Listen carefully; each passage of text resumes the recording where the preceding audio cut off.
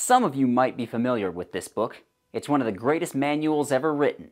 Street Sword, Practical Use of the Long Blade for Self-Defense. A book all about how to use the greatest weapon ever crafted by human hands, the katana.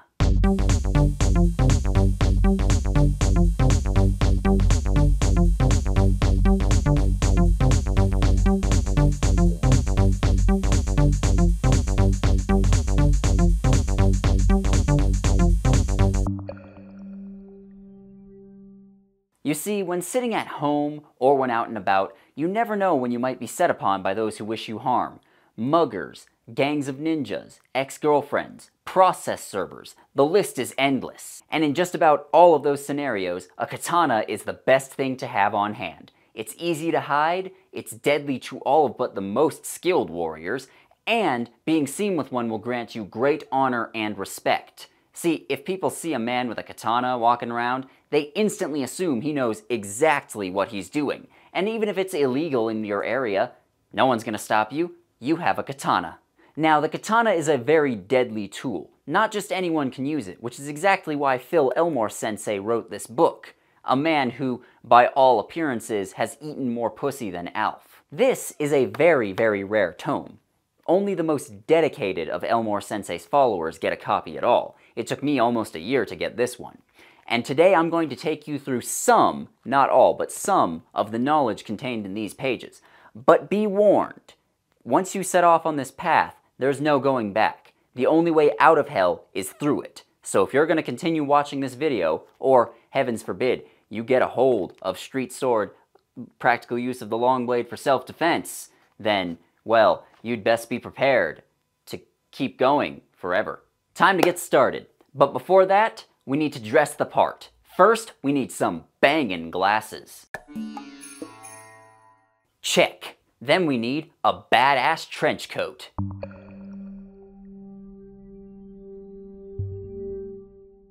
Check. Then we need a sick scarf. Check. Then we need some fancy gloves.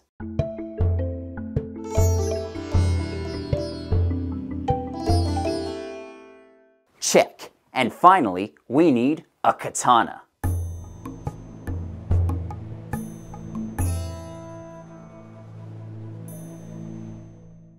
Check. Now you may notice this isn't a real katana.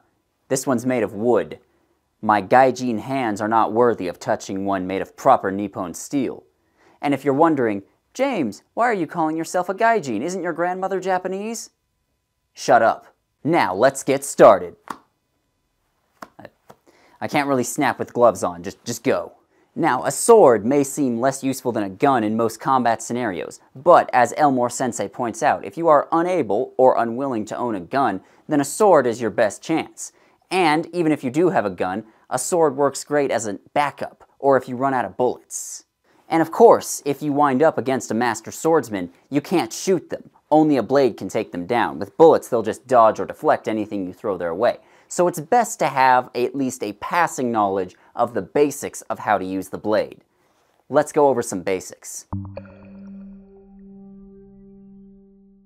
How to grip the sword. First, take your dominant hand, which will be your right hand, and hold it near the top of the hilt. Then, take your non-dominant hand, your left hand, and hold it near the bottom of the hilt. This is how you grip the sword. If you're left-handed, go fuck yourself.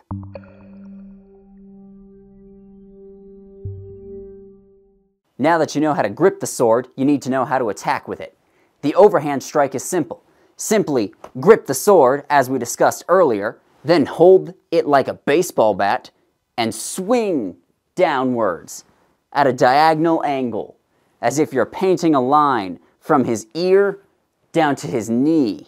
If you're an anime fan, you should recognize this as the most basic strike used by most swordsmen. Once you've mastered it, you'll be able to cut through their bone, their muscles, their organs, and everything else with ease. You'll know you've done it correctly when their body releases a spray of pressurized blood 10 feet in the air.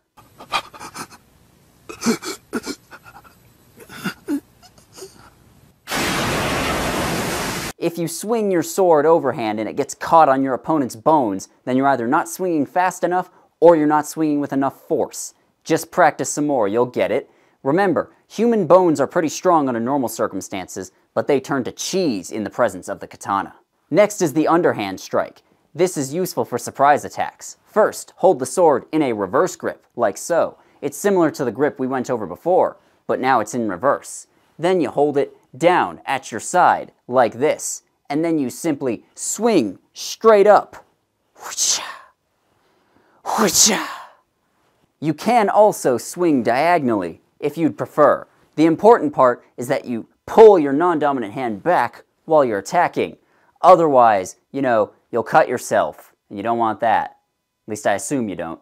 Much like the overhand strike, this should cut through bone, metal, other swords, stone, anything, as long as you do it properly. Now for how to do thrusts. See, with western pig blades, you can't cut through armor very well, so the only way to get through it is by stabbing, punching through it.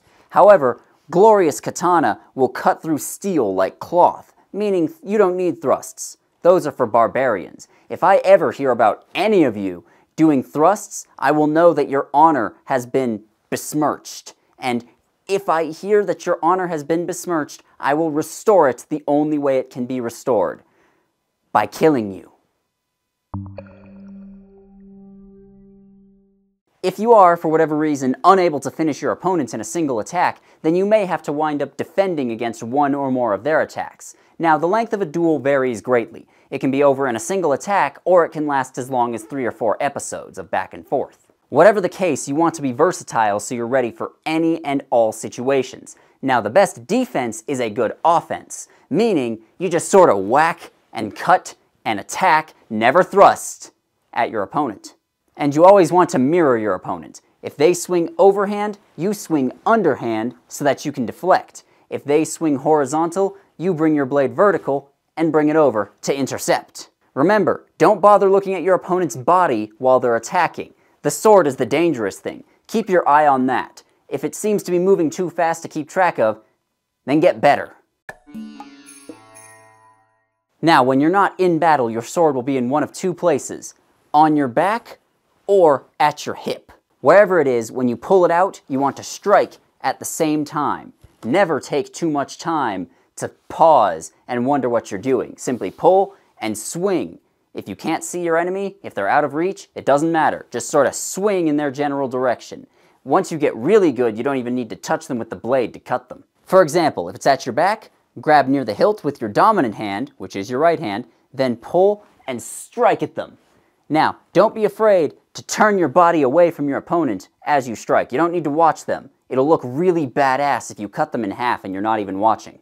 Plus, if you don't look at them as they die, it'll intimidate any other potential foes.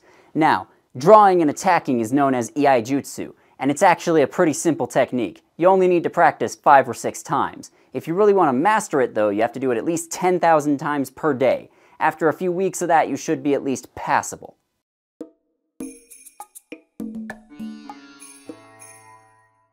If you're an American, it's very easy to get a gun. It's much less easy to get a proper blade. It's easy to get a blade, but it's hard to get a proper blade. So if you ever find yourself in the middle of a battle, even if you don't have a gun on you, just search around, you can find one.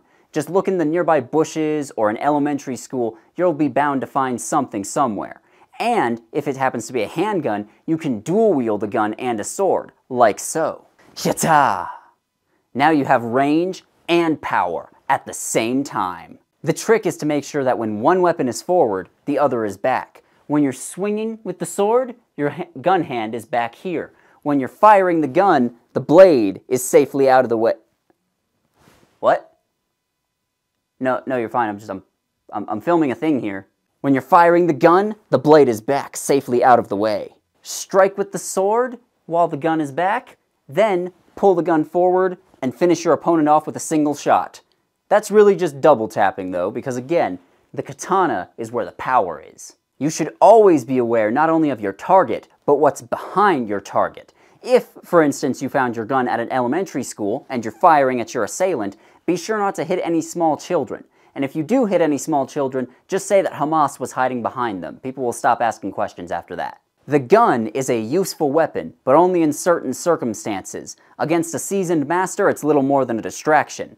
Remember, they will simply dodge or deflect anything you throw at them. That's what being a sword master means.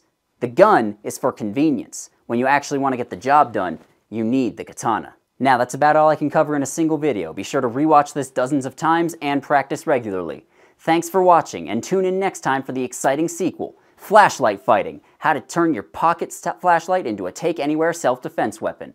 That's all about how flashlights are actually better than knives if you know what you're doing. Goodbye.